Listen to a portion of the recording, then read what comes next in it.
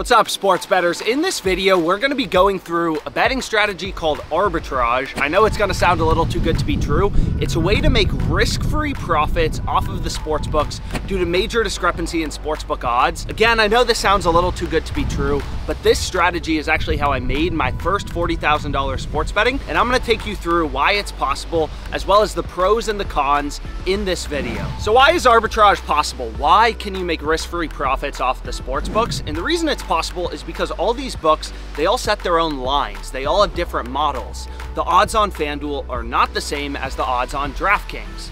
If every sports book had the exact same odds and lines, we wouldn't need hundreds.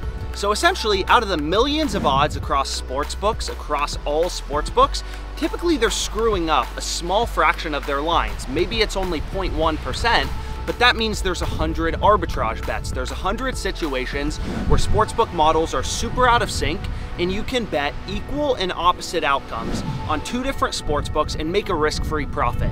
So that's what arbitrage betting is. You're betting the over on one sportsbook, the under on another sportsbook when their lines are super out of sync to lock in a risk-free profit. You're basically day trading the sports books.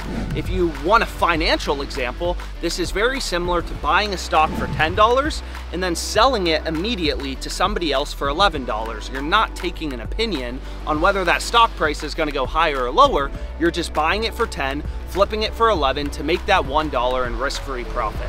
So before we get into some examples of arbitrage betting as well as going through the pros and the cons, the first thing you need to do if you want to be a great arbitrage bettor, you want to make risk-free money sports betting, is you are going to need multiple sports books. Again, all of these sports books have different odds and lines from one another, so when you're arbitrage betting, you want to have as many books as possible. The more books you have, the better. If you have 10 sports books, that means there's 10 books that could be screwing up lines where you can find arbitrage bets from. So I recommend signing up for all the books in your location. Every state has different sports books that are available. So I recommend taking a look, seeing what is available in your location, FanDuel, DraftKings, Fliff, Caesars. I've used over 40 sports books when arbitrage betting, and the more you can get, the better. Obviously, another thing you need when you're finding your arbitrage bets is a software. So you can scan through the sports books manually. I actually used to do that. I would literally pull up sports books, scan around the market for arbitrage plays. But again, there's hundreds of thousands of odds on each sports book, millions of odds across all the sports books you probably use. So going through book by book manually to try to find these arbitrage plays is next to impossible. Another thing to mention about these arbitrage bets that we'll talk about a bit more later is these lines don't last forever, right? These are major discrepancies between sportsbooks when sportsbooks are making mistakes and you're day trading them to lock in a risk-free profit is these arbitrage bets, they're not gonna last for an hour right? Some of these plays only last a few minutes before the books realize their lines are screwed up and they're getting arbed with another sports book and they end up moving their line. So long story short, you're gonna need a software. OddsJam has an arbitrage betting tool and of course, there's a seven day free trial. You can try it out for yourself. Again, you're gonna wanna have as many sports books as possible. So you can give OddsJam a try for seven days. If you're not satisfied, cancel your free trial in one button click. So one thing to mention when you're arbitrage betting, I really wanna hammer this home, is you need to move quickly. You are day trading the sports books. So what I really recommend is ideally you have all your sportsbook accounts logged into, you know how to navigate these books, so you can quickly get these arbitrage bets down and make a risk-free profit. It's also worth knowing a lot of sportsbooks have search bars where you can search for specific teams, even specific players. Knowing how to find these bets and get your arbitrage plays in quickly is a really important tip when you're day trading the books. So I'm gonna take you through an arbitrage bet that I placed personally to make a risk-free $8. And this arbitrage bet is between Caesar Sportsbook and Barstool Sportsbook. Again, the more books you have access to, the better. If I didn't have access to Barstool or I didn't have access to Caesars, I wouldn't have been able to make this risk-free $8. So more books means more profitable betting opportunities. But you can see right here, there is a huge discrepancy between Barstool and Caesars on Kenny Pickett's passing attempts line. They have his line at 31 half. They both have the line at the same level, but look at the odds. Barstool has the odds on Kenny Pickett's over at plus 105.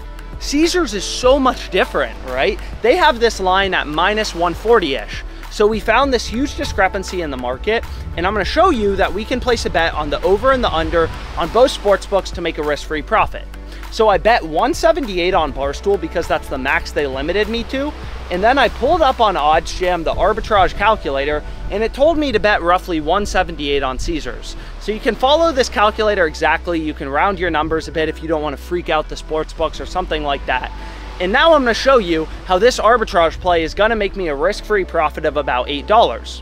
So I have 178 on Barstool on Kenny Pickett over 31 and a half at plus 105. I have his under 31 and a half at plus 104 odds on Caesars for 178. Always one bet is gonna win, one is gonna lose.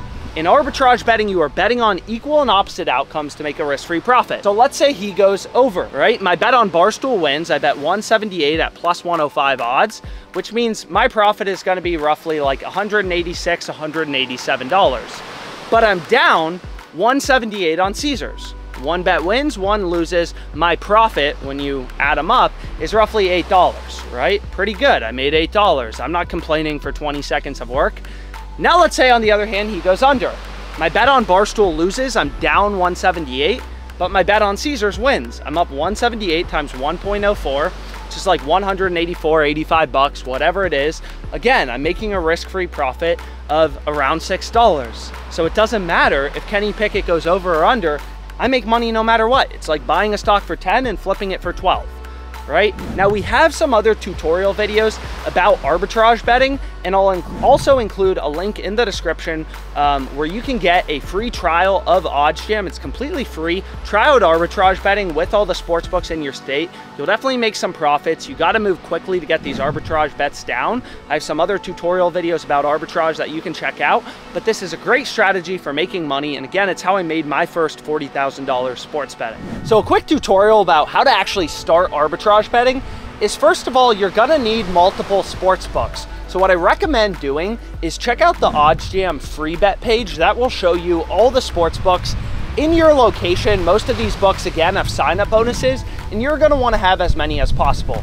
On some days, there's great arbitrage bets, like the one I showed earlier, between Barstool and Caesars. Other days, it may be FanDuel and DraftKings. You can see I locked in this arbitrage bet between FanDuel and DraftKings. So long story short, the more books you have, the better. You're gonna need to sign up for them all. Then what you can do is just head over to the arbitrage tool and select the sports books you use on the drop down. Again, ideally you have all the books in your location, but maybe for some reason you only start out with a few of them, so you can filter out the sports books you don't use.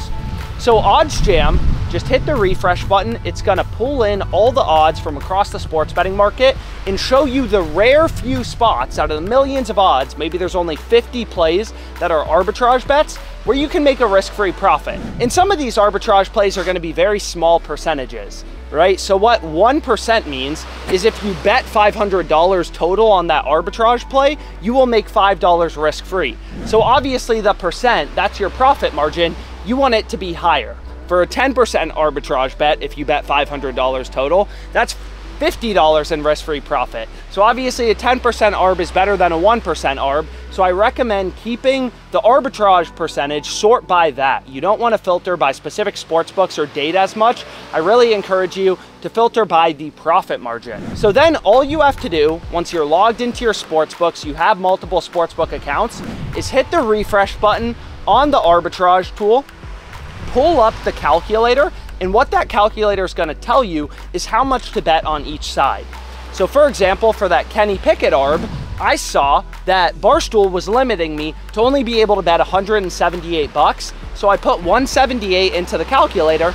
It tells me to bet roughly 178 on Caesars. You can round your numbers if you'd like to 175 or a more standard number.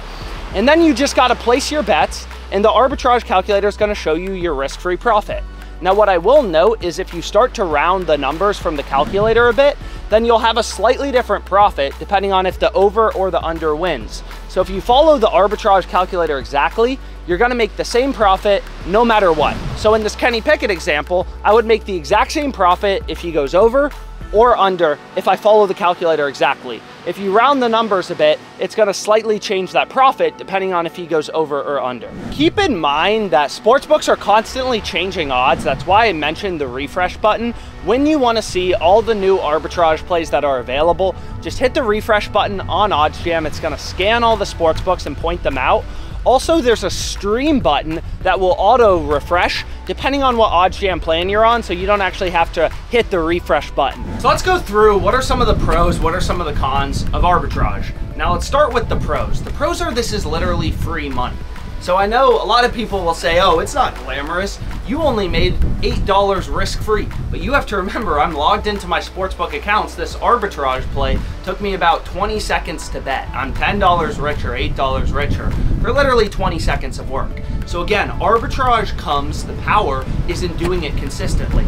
Let's say you place 10 arbitrage bets a day, making roughly $10 a profit. That's $100 a day. That's $36,000 a year if you do it consistently. But again, arbitrage betting, it's all about volume. So this is not a game for the lazy. This is not a get rich quick scheme. This is something where if you're consistently putting in the work to look for these arbitrage plays, you're gonna make big profits. And that is the pro of arbitrage betting. It's how I made my first $40,000 sports betting in less than a year. I used to get home from work, crack open a beer, and just look for arbitrage bets and place them all night long. Some nights there were a few more arbitrage bets. I'd make $100 risk-free. Other nights I may only make $40 risk-free, but over the course of, the, of a month, I was making thousands and thousands of dollars with no risk, and it's absolutely insane. Where else can you sit at home on your computer and make risk-free money? So some of the cons of arbitrage betting.